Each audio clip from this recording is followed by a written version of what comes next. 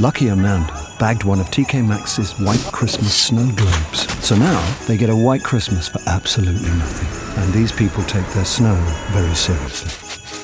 Now sit back, relax, and prepare yourself for sheer joy. Just look at them. I'm feeling feelings. Some say that's what Christmas is all about changing the weather in an isolated area for a 48 hour period.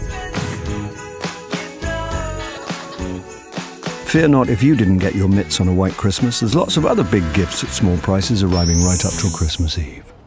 Nice snow, Angel.